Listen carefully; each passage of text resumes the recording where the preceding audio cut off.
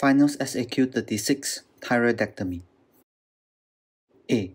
Which investigations are specifically indicated in the pre-op assessment of a patient presenting for thyroidectomy for treated thyrotoxicosis? This includes blood tests, which includes thyroid function tests, confirm that the patient is euthyroid, elective surgery only when the patient is euthyroid. Subclinical hypothyroidism usually presents with no anesthetic problems and no delay is needed. Full blood count, as carbimazole and PTU can cause agranulocytosis. Two group and save samples as there is potential for blood loss. Serum calcium levels as it may drop post-op due to loss of parathyroid glands Serum urea electrolytes and creatinine as hypo and hyperthyroidism affect kidney function. ECG. This should show normal rate if euthyroid. Patient may be bradycardic if ongoing beta blocker use. Atrial fibrillation may be detected if hyperthyroid. Chest X-ray or lateral thoracic inlet film.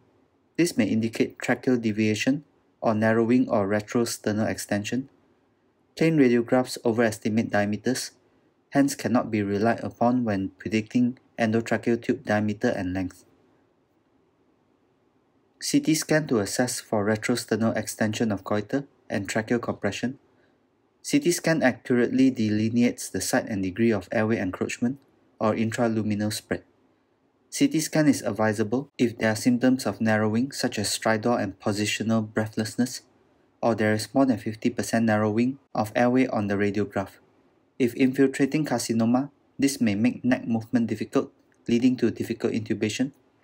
SVC obstruction may be identified. Fiber optic nasoendoscopy.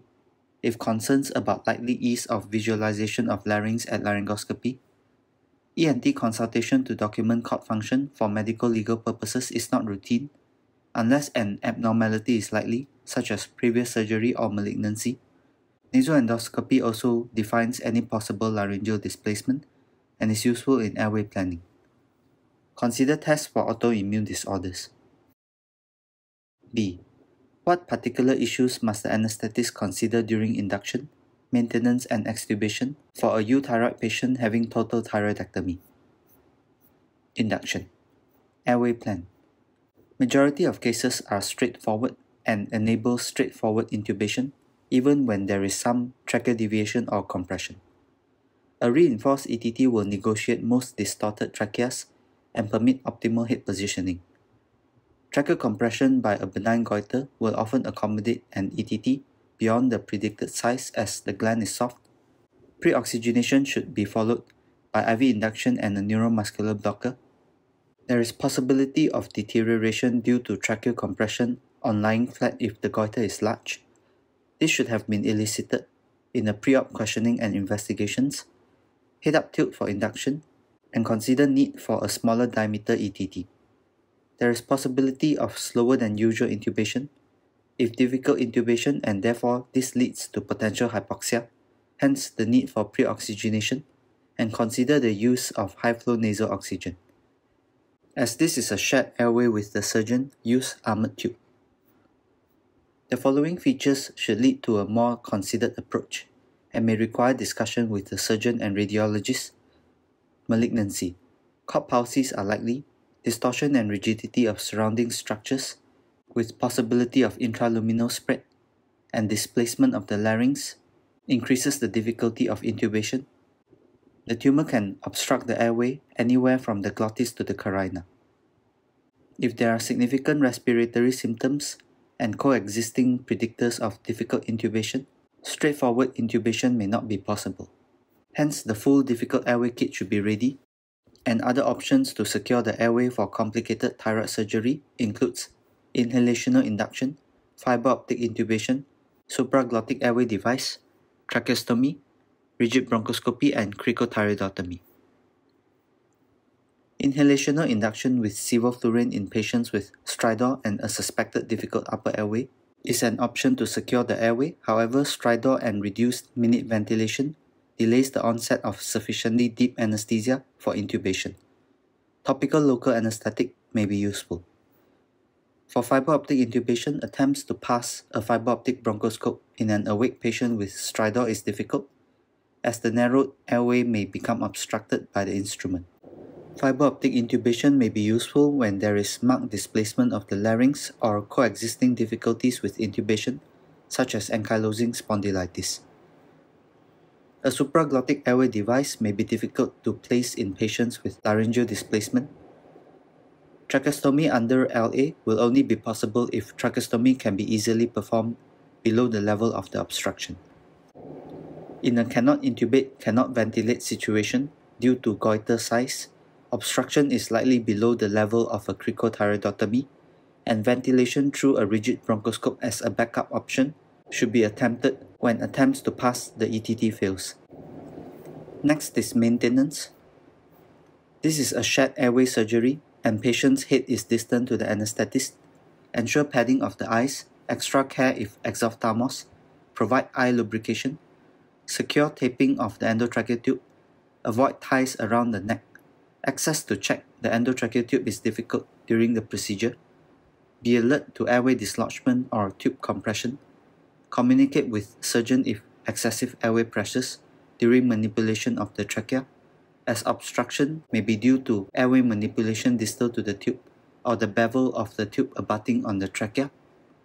Head up tube to improve venous drainage, but not so as to impair arterial supply. Arms to the sides with extensions on fluid administration sets. Long breathing circuit for anesthetic machine. Monitor degree of muscle relaxation on the leg. Drugs Maintenance of anesthesia is via IV or inhalational route. Remifentanil is useful to minimize the need for muscle relaxants and to achieve a degree of hypotension that will improve the surgical field. Tracheal manipulation during surgery can be very stimulating. Full relaxation or use of remifentanil prevents coughing during surgery. Electrophysiological monitoring of recurrent laryngeal nerves is common intraoperatively using specialized reinforced endotracheal tubes with EMG capability. When these are used, neuromuscular blockers should be avoided. Vasopressors such as phenylephrine may be useful to achieve normotension towards the end of the surgery to test for hemostasis. There is high risk of nausea and vomiting, hence the need for antiemetics.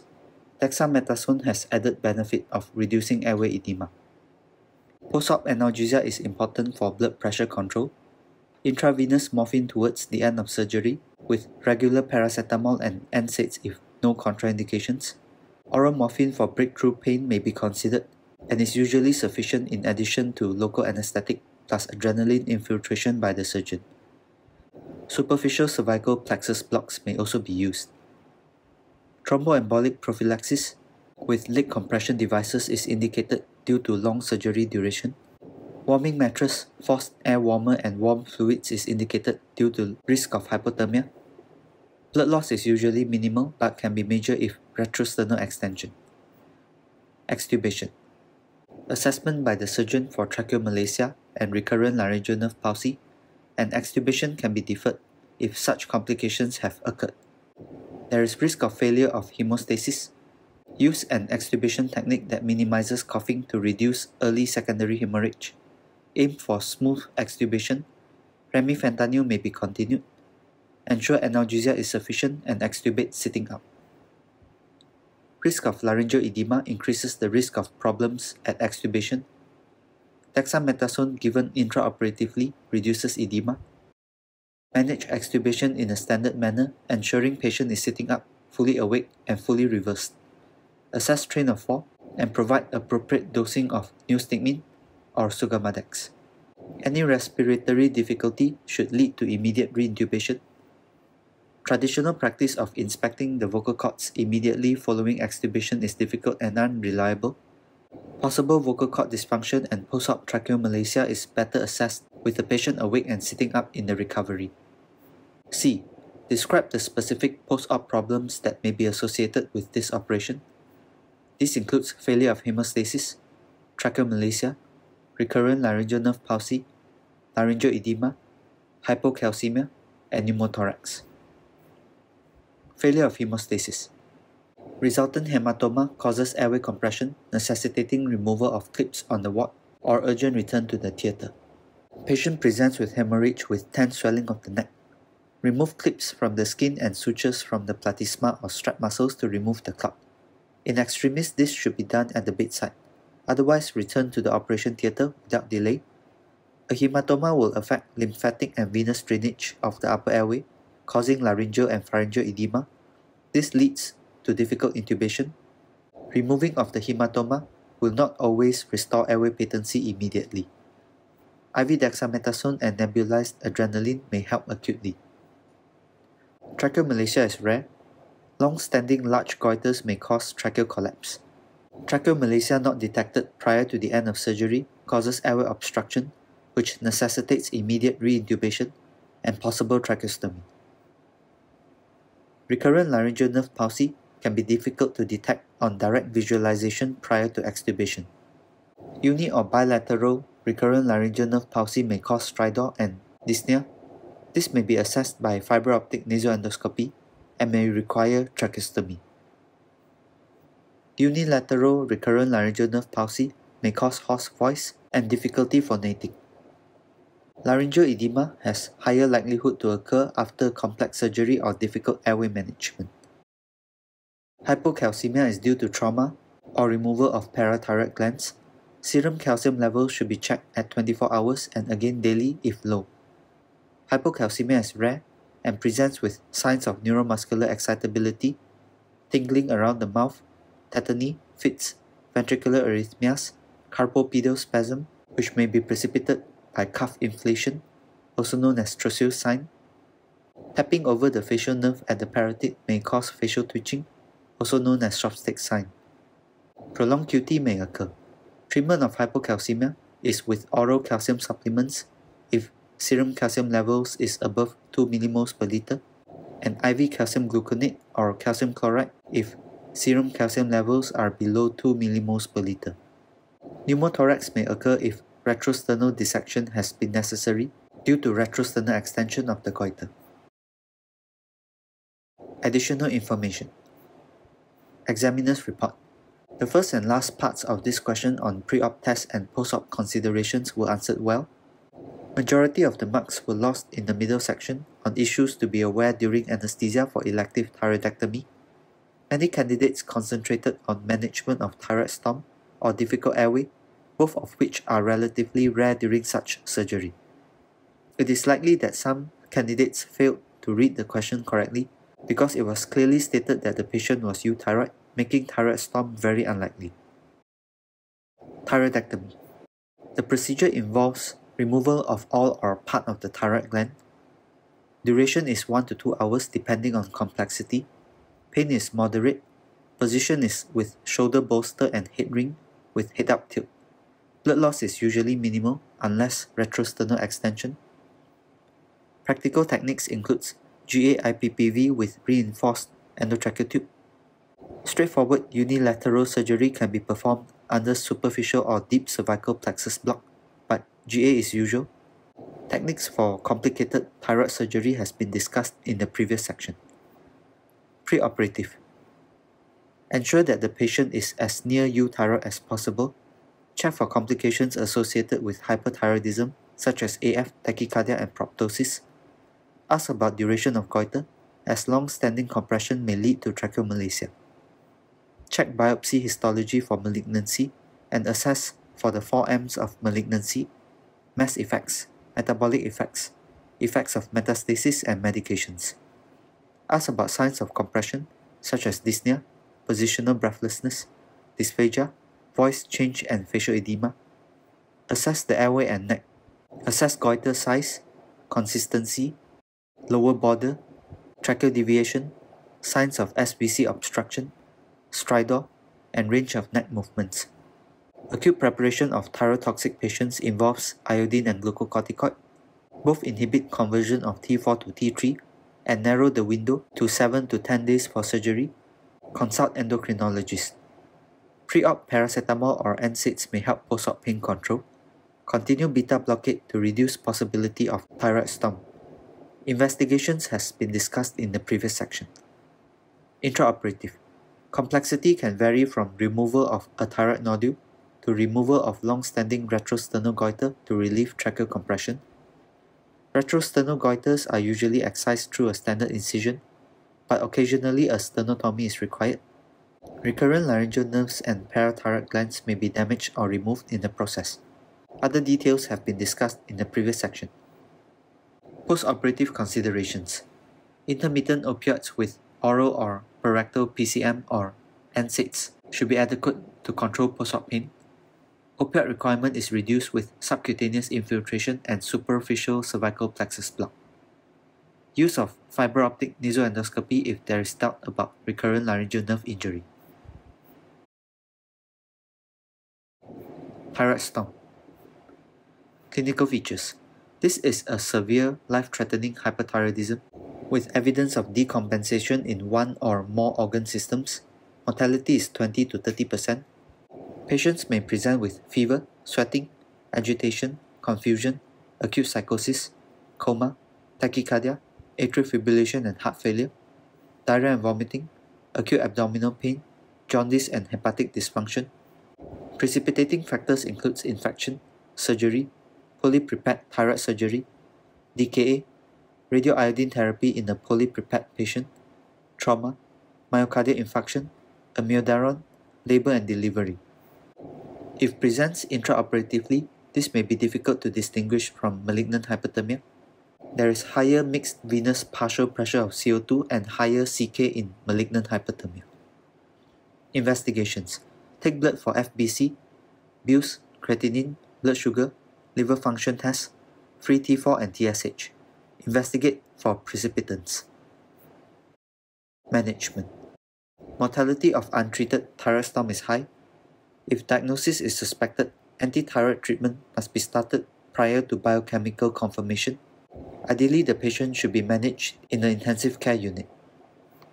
To treat the hyperthyroidism, propylthiouracil and carbimazole may be used to inhibit thyroid hormone formation.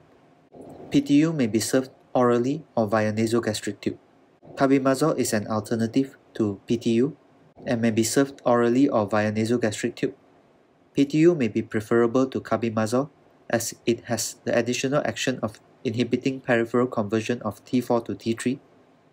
For patients who are unable to take medications orally, these drugs may be suspended in liquid and given rectally. Drugs that inhibit thyroid hormone release includes sodium iodide, oral potassium iodide, or oral Lugol's iodine. Iodine should be given at least one hour after the patient has received the initial dose of PTU or carbimazole to ensure that iodine given is not taken up by the gland to further thyroid hormone synthesis and release. Steroids such as dexamethasone or hydrocortisone inhibits the release of thyroid hormones, inhibits peripheral conversion of T4 to T3, and is helpful to treat adrenal insufficiency. Beta-1 blockade by propranolol is used to treat tachycardia, and beta-2 blockade by propranolol prevents the peripheral conversion of T4 to T3 However, propranolol should not be used if there is pulmonary or peripheral edema, and if heart failure supervenes, atropine should be given. Diltiazem can be used if beta blockade is contraindicated, such as in bronchial asthma. IV esmolol may be useful to allow rapid titration due to its short half-life. Beta blockade and calcium channel blockade should be avoided in heart failure. Cardiac failure is usually associated with fast atrial fibrillation Drugs used to treat cardiac failure includes diuretics, digoxin, and oxygen. Consider propranolol if cardiac failure is due to uncontrolled atrial fibrillation and left ventricular function is good.